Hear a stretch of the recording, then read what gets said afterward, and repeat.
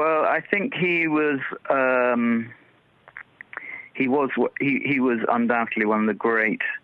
racing writers of, of the post-war era.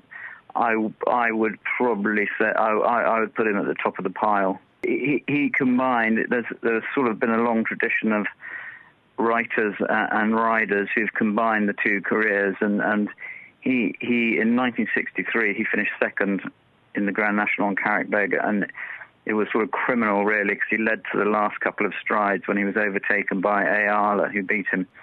three quarters of a length. And it was one of the great sort of Corinthian Grand National rides. And John, being John, had then had to go into the press room. Um, probably didn't even have time to change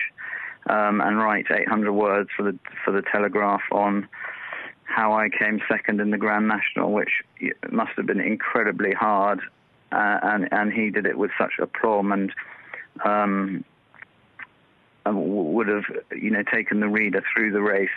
Um, probably one of the great articles of all time. His biggest legacy, I think, people would probably say, is that he was one of the founder members of or founders of the Injured Jockeys Fund,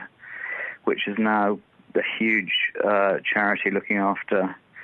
jockeys who get injured, looking after old retired jockeys who've fallen on hard times uh, and and uh, they have a you know it is a huge they have a huge turnover, um, and he founded that, and it is it is uh, you know it you know for for the modern jockey that they owe that to, to, to John Oaksey.